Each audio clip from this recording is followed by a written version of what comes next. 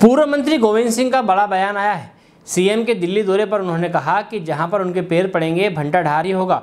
सिंधिया हमेशा अपने दबाव में रखना चाहते हैं। सरकार को सिंधिया समर्थकों को राजस्व के विभाग न दिए जाने की बात भी कही है क्योंकि सिंधिया परिवार सरकारी जमीनें हड़पने का काम करता है। भोपाल से ताहिर खान की रिपोर्ट। क्या एजेंडा है सर? एजेंडा के बारे में तो हमारे माननीय अध्यक्ष कमलनाथ जी बता सकते हैं। ये ज़रूर है कि मेरे को बुलाया गया है। अब किस सिलसिले में संगठन के बारे में चर्चा करेंगे चुनाव आने वाले हैं उसके संबंध में भी बात हो सकती है। तो अभी हमें कुछ कहने की स्थिति में नहीं है। बीजेपी प्रभारियों को नहीं कह सकता बरसों से चल रहा है ये। हमने सरकार का भी नहीं देखा कितनी हुई है लेकिन जब भी कोई भी सरकार चाहे भाजपा की रही हो चाहे कांग्रेस की रही हो इनका खेल चलता है ये परिवार दोनों दलों में मिला रहता है।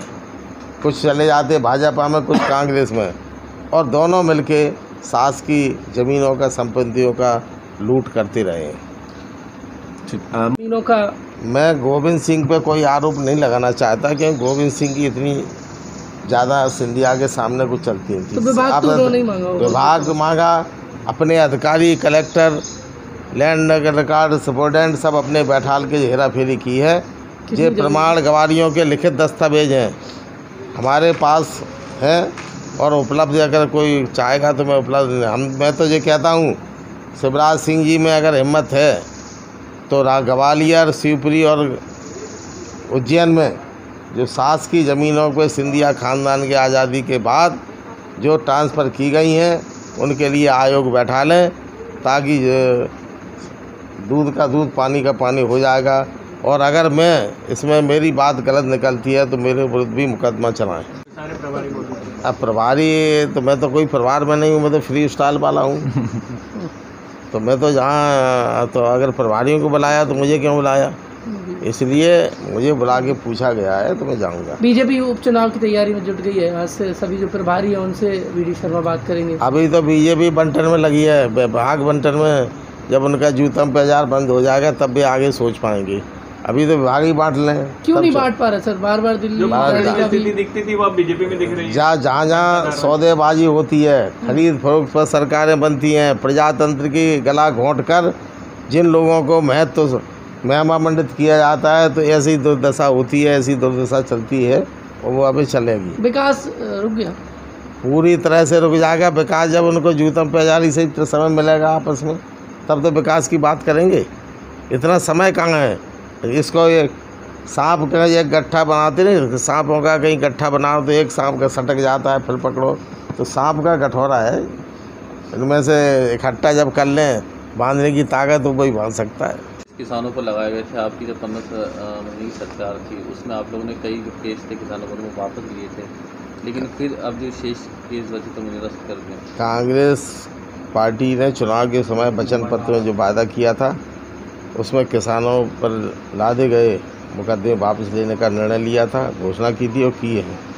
काफ़ी भारी तादाद में किसानों पर लगे हुए और कांग्रेस के कार्यकर्ताओं पर असत्य झूठे मुकदमे भारतीय जनता पार्टी के समय में किए गए थे। कार्यकाल में उनको वापस किया गया है। दोबारा नहीं हुआ है। जहाँ जहाँ पैर पड़े संतन के वहाँ होगा बंटा ढाल। सिंधिया जी जब कांग्रेस में थे तो उनकी जो सोच है कि सभी विभाग और मुख्यमंत्री और मंत्री उनके दबाव में काम करें।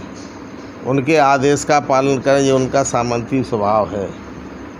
अभी मैं हालाँकि मेरे को सलाह देने की आवश्यकता नहीं विपक्ष में हूँ, लेकिन प्रदेश की साढ़े सात ज़रूर जनता की ओर से, उनके हित में मैं मुख्यमंत्री शिवराज सिंह जी से अनुरोध करना चाहता हूँ कि सिंधिया समर्थकों को राजस्व के विभाग न दिया जाए। क्योंकि राजस्व भाग जब जब सिंधिया के लोगों पे आया है और सिंधिया का प्रभाव क्षेत्र राजस्व भाग के अधिकारियों को लैंड रिकॉर्ड वगैरह में इन्होंने अपने कमिश्नर बैठा ले हैं, तब तब सास की ज़मीनों पर हड़पने का काम सिंधिया जी के द्वारा, इनके परिवार के द्वारा किया गया है। अभी भी ग्वालियर में जो मर्जर एग्रीमेंट हुआ था अठारह, उन्नीस सौ सत्ता, अट्ठावन सत्तावन में भारत सरकार और सिंधिया स्टेट के राज प्रमुख जियाजी राव सिंधिया के के समक्ष जो भारत सरकार, मध्य प्रदेश सरकार का एग्रीमेंट हुआ था, उस एग्रीमेंट में जो सास की ज़मीनें अलग कर दी गई थी ये सास की होंगी, और उसके बाद निजी संपत्तियाँ उनकी सिंधिया जी की तय की गई थी, वो एग्रीमेंट में गजट नोटिफिकेशन के माध्यम से लिखित दस्तावेज़ हैं। परंतु उसके बाद भी सिंधिया जी द्वारा अपने अधिकारियों को और अपने विभाग, अपने दबाव में अपने लोगों को लगा के करोड़ों जो की रुपए की ज़मीन है, वो जैन की, शिवपुरी की और ग्वालियर की। सिंधिया ख़ानदान ने, सिंधिया ने अपने नामों के लिए, अपने ट्रस्टों के लिए अपने नाम करा ली हैं। हमारी शिवराज सिंह जी से मांग है। हालाँकि मुझे अधिकार नहीं है, सलाह है कि आप राजस्व विभाग को छोड़कर चाहे कुछ दें, लेकिन इससे ज़रा बचाव करें। अन्यथा पूरी प्रदेश की सास की, गरीब जनता की संपत्ति, जो जनहित के काम होने वाले हैं, विकास के कार्यक्रम के लिए ज़मीनें तय की गई थी, वो सब सिंधिया जी द्वारा हड़प ली जाएँगी। आज भी न्यायालय में तमाम प्रकरण, ग्वालियर उच्च न्यायालय में ज़मीन हड़पने के सिंधिया जी के खिलाफ चल रहे हैं। और इसके अलावा मैं ये भी कहना चाहता हूँ कि जो सिंधिया से संबंधित ज़मीनें पर मुकदमे हों उनमें सिंधिया जी द्वारा प्रस्तावित एडि एडिशनल एडवोकेट जनरल और सास की अधिवक्ताओं को उससे दूर रखा जाए। क्योंकि अभी कई मामलों में सास की अधिवक्ता भी और एडवोकेट एडिशनल एडवोकेट जनरल अपने बनवाते हैं, ताकि वो सिंधिया के पक्ष में फैसला करवाते हैं। मैं सबसे बड़े आश्चर्य की बात मैं आपको बता देना चाहता हूँ कि ग्वालियर में श्री सुशील मोदी जी एडवोकेट जनरल हैं। उन्होंने न्यायालय में लिख के दिया था। कमलनाथ जी मुख्यमंत्री की सरकार के रहते कि हम बारह प्रकरणों में सरकार के खिलाफ सांस की अधिवक्ता बारह सिंधिया जी के, हम इन पर सरकार की पैरवी नहीं करूँगा।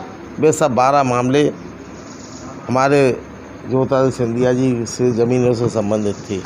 इस प्रकार का दबाव सिंधिया जी द्वारा किया जाता है और अभी लगातार दबाव बनाकर विभागों के वितरण में मैं नहीं समझता कि शिवराज सिंह जी इतनी जल्दी सफलता पा लेंगे हेलो फ्रेंड्स आप देख रहे हैं हमारा channel S W twenty four news हमारे सारे वीडियो सबसे पहले देखने के लिए आप हमारे चैनल को सब्सक्राइब करें और पास में लगे बेल आइकन को दबाना बिल्कुल भी ना भूलें।